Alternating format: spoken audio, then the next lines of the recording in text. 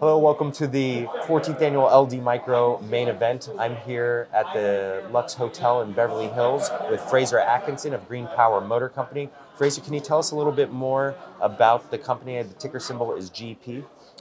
Uh, thank you, and it's great to be here. Uh, GreenPower Motor Company, we have a suite of medium and heavy duty all electric vehicles. Uh, they're our design, it's our build and we have a range of products that cover uh, schools, transit, shuttle, and a variety of other specialty areas.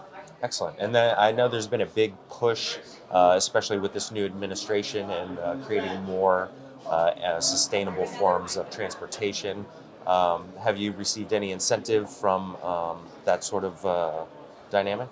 Well, not only in under the current administration, but a number every every month it seems another state comes on board with uh, you know additional programs and incentives. But what's really helping us is the mandates, where you know, for example, in California here, we've got uh, 13 airports that have been mandated to go to zero emission buses on their properties before 2030, which means that they need to start buying their product now. Wow. And we're not talking about just the buses that go to employee or, or passenger parking, but any bus operating on the property has to be zero emission. Wow. And where are you doing the manufacturing from? We do our final assembly is in the San Joaquin Valley between Bakersfield and uh, Fresno, and then our uh, our operations and our you know engineering, sales, marketing is all based in Rancho Cucamonga, just outside of LA here. And uh, how long have you been with the company? What's the, sort of the role there? I'm uh, I'm one of the founders, so I've been at this for over ten years, which in the EV space is an eternity. There's not many companies that have been around longer, so uh, we've we've seen a lot of change in terms of you know the early days. There's very little understanding of the products that we're selling, and and frankly, very little support for electrification, where now it's the complete opposite. Mm-hmm. There are you know, tons of support to uh, right across the board in terms of getting companies to electrify their fleets. And there obviously is a lot of companies in the space now coming out in this electric vehicle uh, area. What are some of the things that set you apart from the competition? Well, our focus has been on a class four, and without getting too technical, it's it's above sort of the the regular van you might see that is more of a, you know, a consumer oriented vehicle, which is in the light duty classification. And we're below the, you know, where Tesla's operating at the class eight with their truck. Uh, the class four space, we have both passenger and cargo delivery and logistics.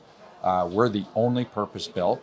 And we also, on the passenger side, completed uh, what is known as the Altoona test, which is a durability test required by transit properties uh, for the buses that they buy, and we scored the second highest score ever.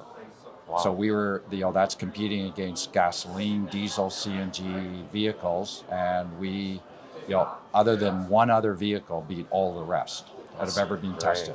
Wow. What have been some of the obstacles in, in creating the momentum for the company? Well, in the early days, it was uh, uh, the physical cost of the building the product. Batteries are super expensive. They're very heavy. Uh, they weren't particularly re- reliable. So you could put together a vehicle that could take two or three people down to the grocery store and back. You know, it was, it, was, it, it really wasn't uh, a, a, viable or economic uh, solution. Whereas fast forward to today, you know, people don't have the range anxiety that they used to have. The product can deliver, you know, to the duty cycle that's required. So it's a, a, real sea change in you know a matter of literally a few years. Wow. And then what do you think investors should be aware about uh, as far as short-term goals over the next five years? Well, five years is eternity in our space, uh, but I think I think one of the things that we talk about is we've been delivering product. Like we're delivering, you know, delivering school buses, we're delivering shuttle transit buses, and we've been doing so for quite a few years and a number of the other uh, more recent entrants, in some cases, are still prototyping. So we're, I think we are clearly at a different phase in terms of the development, and now we're ramping up production, having recently listed on Nasdaq and using that funds to, you know, really increase our production of products. Absolutely. Is there anything else you'd like investors to know about the company? Uh, just stay tuned, sign up for our press releases and our distribution, and uh, we've got a lot of exciting news to come. And where can they find more information if they're interested? greenpowermotor.com. greenpowermotor.com. Fraser, thank you so much for coming by. I hope you enjoy the rest of the event. Everybody keep an eye out for GreenPower Motors. Thank you.